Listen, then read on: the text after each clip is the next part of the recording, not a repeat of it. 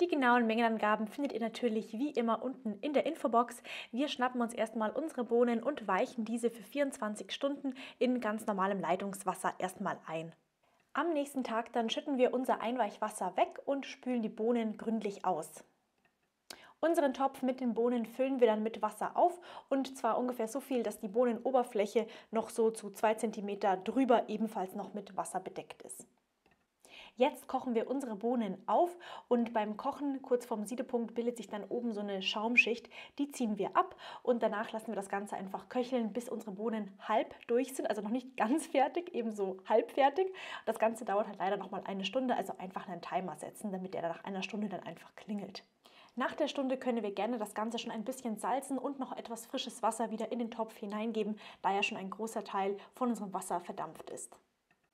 Kurz bevor unser Timer für die eine Stunde Bohnenkochzeit klingelt, fangen wir schon mal an, in einer separaten Pfanne ein bisschen Zwiebel und Karotten anzubraten und sobald die angebraten sind, geben wir dann diese in den Topf mit den Bohnen mit dazu. Und jetzt hat fehlt nur noch eine Zutatenmischung, die wir in unsere Karotten-Zwiebel-Bohnen-Mischung mit dazugeben. Und zwar ist das etwas Tomatenmark, Wasser, Sonnenblumenöl und ein bisschen Zucker. Das können wir jetzt entweder in einer separaten Schüssel miteinander vermischen und einfach direkt in den Bohnentopf geben, was ich ehrlich gesagt wirklich machen würde. Oder es etwas aufwendiger zu machen und wie meine Oma das Ganze nochmal auf einer extra Pfanne alles miteinander erwärmen und nochmal dort vermischen, ist aber wirklich nicht notwendig. Ihr könnt diese ganze Kombination an Zutaten einfach direkt in euren Bohnentopf geben und dann lassen wir alle Zutaten in dem Topf einfach nochmal für 40 Minuten köcheln. Also nochmal den Timer stellen auf 40 Minuten, bis eure Bohnen dann ganz durch sind. Und zu guter Letzt füllen wir jetzt halt noch wirklich die heißen Bohnen samt der Flüssigkeit direkt in unsere Einmachgläser um, sobald sie eben durch sind. Und wir können jetzt noch pro Glas eine große zerstampfte Knoblauchzehe mit reingeben. Und wir persönlich geben noch sehr gerne so einen halben Teelöffel von der italienischen Gewürzmischung mit rein. Aber ihr könnt da natürlich die Gewürze wählen, die euch am liebsten sind. Jetzt noch den Deckel ganz, ganz feste zuschrauben, damit da wirklich keine Luft mehr reinkommt und das Ganze eingewickelt in eine Decke oder mit Kissen bedeckt, nochmal bei Raumtemperatur einfach für 24 Stunden oder einfach bis zum nächsten Tag stehen lassen und da können wir sie dann einfach in einen Kühlschrank stellen.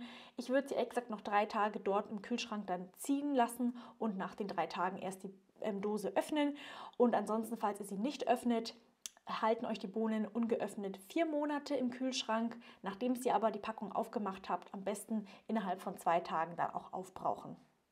So, versprochen, das war das letzte Einlegevideo für lange Zeit auf diesem Kanal. Aber ich dachte mir so, eine, ein Lebensmittel lege ich jetzt noch ein und das lade ich jetzt auch hoch.